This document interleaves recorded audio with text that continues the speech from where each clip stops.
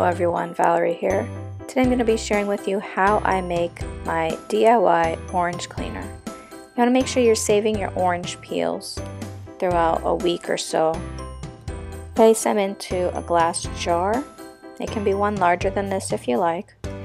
And once you have all your orange peels saved up and into your jar, you're going to go ahead and add in white vinegar and just pour it up to the top.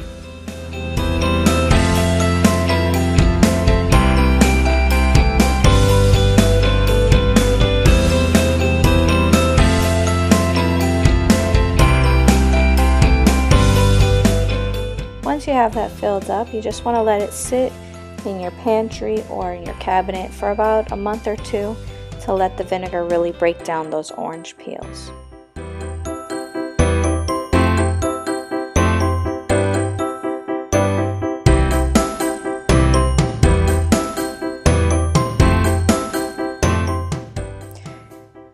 So here you can see the orange vinegar is much more cloudy. I've been letting it sit for about a month. I'm going to go ahead and pour in half a bottle of water into my spray bottle and then I'm going to fill the rest of it with the orange vinegar. I'm going to try not to get any of the orange pieces in there. If you have a strainer, it would be best to use that. But I figured since I was using just a little bit, it wasn't necessary.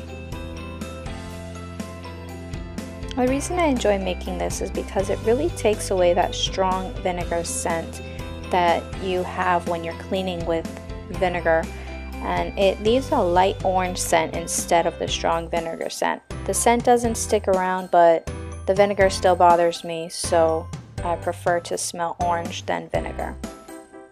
I'll go ahead and give this a little shake to incorporate the vinegar and the water and then you can go ahead and start cleaning.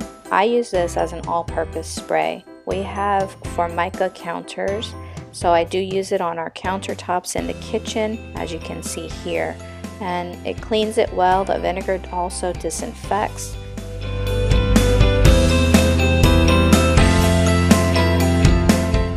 I also use this to clean off my stove top of um, any stuck on food that got cooked on there or splattered. It cleans it very well.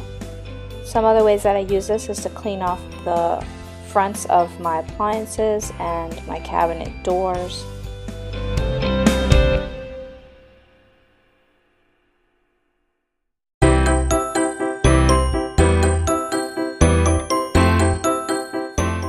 Bathroom we also have Formica countertops so I spray that down as well. It easily cleans up any mess that the kids leave behind of toothpaste or dirt or anything like that.